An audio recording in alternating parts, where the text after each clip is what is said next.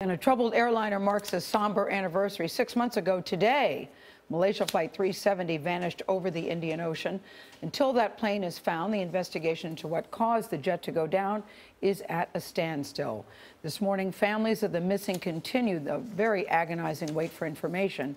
Jeff Pegues joins us with a massive search for answers. Jeff, good morning. Good morning. Family members still looking for answers gathered at a temple in Beijing. They are angry, they are frustrated. This remains still one of the biggest aviation uh, mysteries uh, in history. Still no sign of the Boeing 777 or the 239 people on board.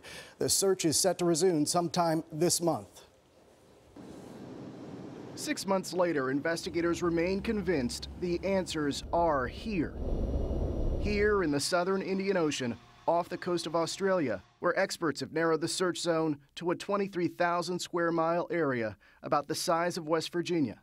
Over the last several weeks, mapping of the sea floor has found depths up to four miles. When the search resumes, sophisticated underwater sonar equipment and video cameras will be used to hopefully identify parts of the plane. That search will continue until all that is humanly possible to be done uh, has been done to scour the probable impact zone. 26 countries have aided a search that spanned land, air, and sea. Teams first looked in the South China Sea and then shifted their focus. We had so much time wasted at the beginning of the crash.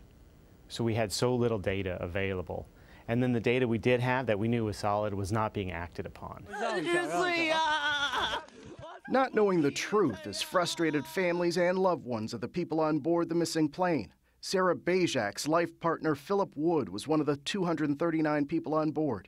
She says she misses him every morning and every night closure means a final answer and being able to bring our loved ones home. I, I, I, need to bring Philip home to bury him properly or to have him back in my life again, one of the two.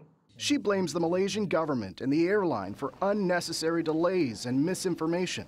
But the airline has been dealing with another tragedy. Just four months after the disappearance of MH370, another Malaysia Air jet, MH17, was shot down over conflict ridden eastern Ukraine. A company that was already working to repair its reputation was dealt another blow, and now it is an airline struggling to fill seats and stay in business. The future is uncertain for the families of the missing as well. Sarah Bajc says she is anxious, frustrated, but also hopeful. I still feel Philip with me. Uh, I feel that connection is still alive. What I know is that he continues to reside in my heart and that gives me the strength to continue to push to try to find him and bring him home.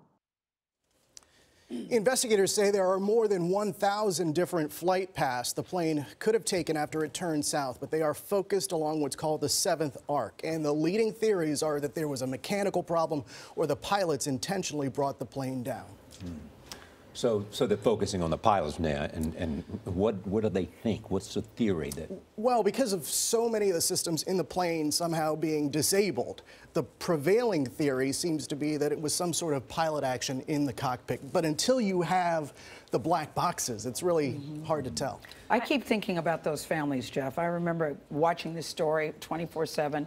There were pings that would say it's in this area, pings there. I remember going to bed thinking, when we get up in the morning, we will know something.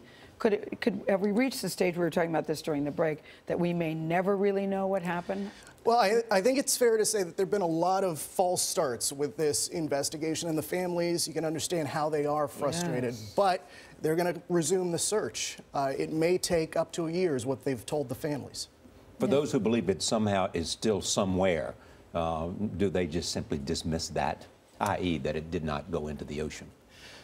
Well, it's, again, it's, it's a hard investigation at this point. The ocean, that part of the world is really uncharted territory. So they have to map the sea floor, and it's really deep. So there's a lot of work to do to get some answers for these families. And it took two years to find the Air France flight. So it did. We will yeah. see. Jeff, thank you so much. Good to see you.